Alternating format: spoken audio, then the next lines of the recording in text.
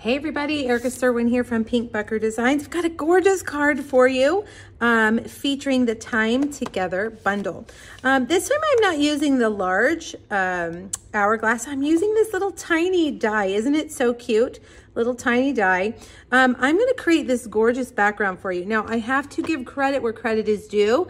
I saw a card by Anne-Marie Nussbaumer, I believe is how you say her last name. I probably said it wrong, but she's from Germany and she did a gorgeous card with this background and I immediately had to make that background myself. Um, she used different stamps and um, dies, but I had to create this. Isn't that gorgeous? I'm gonna show you exactly how to create that.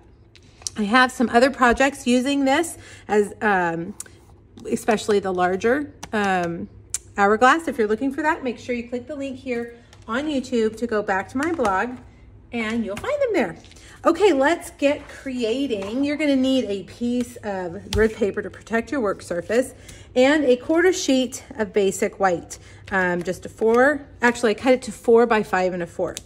Now I put a little bit of adhesive on the back so that I can stick it down and it won't move around on this grid paper. I am gonna use Melon Mambo, Orchid Oasis, Starry Sky, and I think I'm going to put a little bit of Gorgeous Grape as well. Look at that color uh, scheme. Isn't that gorgeous? All right, we're going to start with Melon Mambo. And I've got my blending brushes. And when you start blending with your brush, you don't want to set your brush down on your paper because it leaves a hard edge like that. So always set it down on your grid paper first and move over to your white paper, okay? Now this is going to the intensity of your piece is going to depend on how dedicated you are, how strong your arm muscles are. This is a workout, and I do believe that my right arm muscles are bigger than my left arm, much bigger because of this. because this takes a lot of arm power. So just keep blending, blending, blending until you feel like, okay, I've, I've got enough of the Melon Mambo. Now we're gonna switch over to the bottom and I'm gonna use Orchid Oasis. Um, let's see, I've got another blending brush and this time I'm gonna start from the bottom. Orchid Oasis is a purpley blue. I can't ever decide, is it blue, is it purple? Is it blue, is it purple? It just depends really, I think what color you have it next to. When I first laid down my blending brush, it looked blue, but now as I'm working, it looks purple, doesn't it? All right, I've got a couple of weird little stray specks there, but I think it'll be okay because we're gonna actually do some stamping on top of that. I'm gonna take my Melon Mambo again and just blend in that middle section. Okay, now let's switch over to Starry Sky. Starry Sky and Orchid Oasis are both in colors. They will be leaving us at the end, well, at the end of the 2024 catalog period, which is in the spring. So if you love these colors as much as I do, make sure you st stock up on all of the things that we have that go, whoops, I almost got the wrong color, that, that uh, coordinate. We have ribbon, we have ink, paper, markers, we have all of it. All right, a little bit more. I don't know how much more my arm can take. All right. Now, think here in the middle, it just always seems to need some more blending. There we go, to get those two to blend. Now, last but not least, I'm gonna take, let's see, I'm gonna leave my Starry Sky open because we're gonna use that. But we're gonna take Gorgeous Grape and I'm gonna use my purple blending brush and I'm gonna go around the edges, both on the bottom and the top. Now go light on the top because it is very dark. Okay, I think we've reached, I think we've reached the point where we need to stop. This is Melon Mambo again. Melon Mambo just takes those colors and just kind of smooths them all together. Now, let's move these out of the way because they are very messy. And I'm going to take my bowl of water. That's all it is, a bowl of water. And I'm going to just dip my fingers and I'm just gonna kind of do some splatters. Okay, like that. And I'm gonna let it dry for, you know, a minute or two. We're gonna do some stamping and we're gonna come back to this in just a minute. Now the only real stamp that I'm using from this set is the sentiment stamp. And I'm gonna take my banner with my um, Starry Sky. I'm gonna stamp that here. And we're gonna get the sentiment. We're gonna do in the same color, Starry Sky.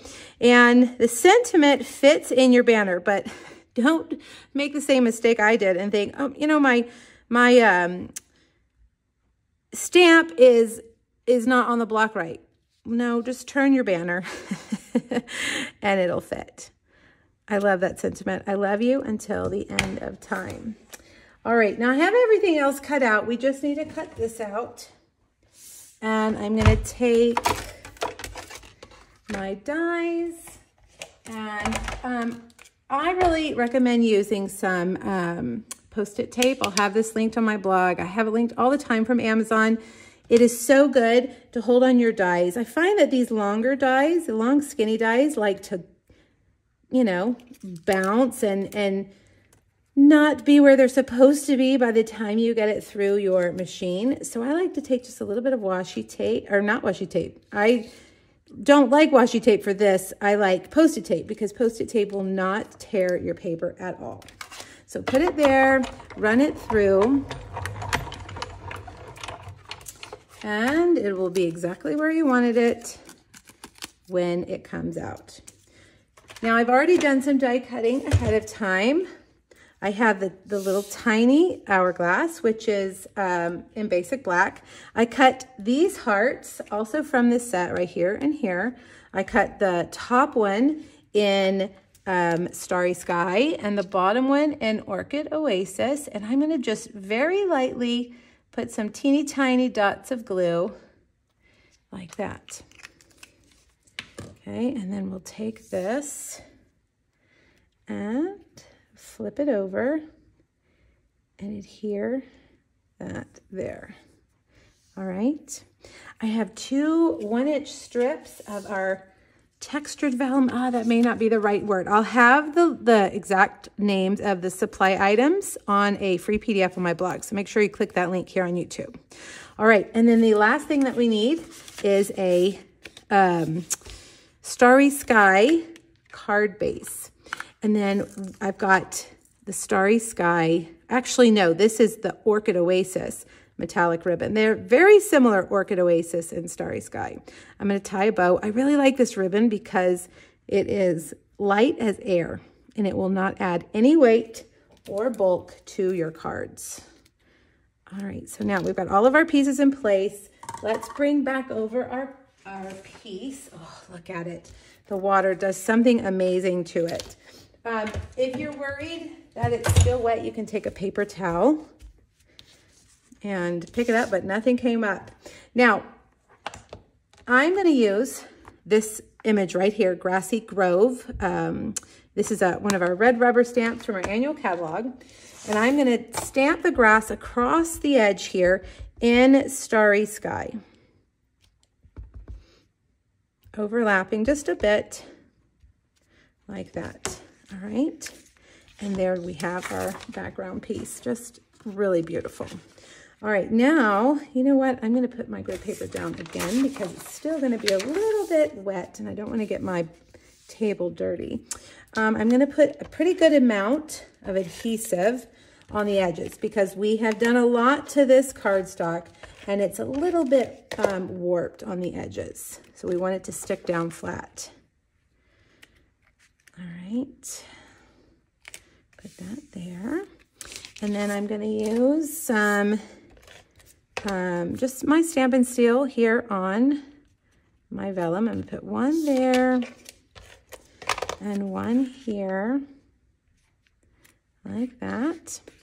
And now we'll just layer everything on. I'm going to start with my sentiment and we'll build up from there. I'm going to use the edges of my big dimensionals, don't throw your dimensional sheets away, guys. Use those edge pieces. Um, or you can use mini dimensionals here too. All right, I'm gonna put that right there. And then we'll take these guys and we'll use our regular dimensionals. Got one here like that. And we'll do this one